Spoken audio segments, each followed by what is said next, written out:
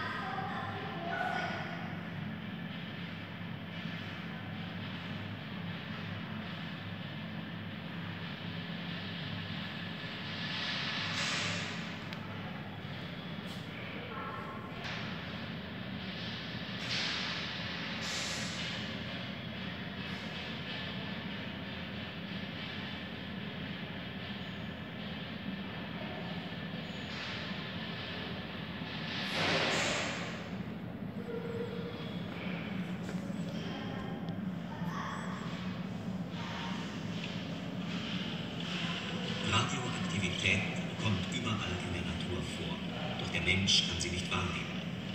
Erst technische Hilfsmittel ermöglichen radioaktive Strahlung festzustellen.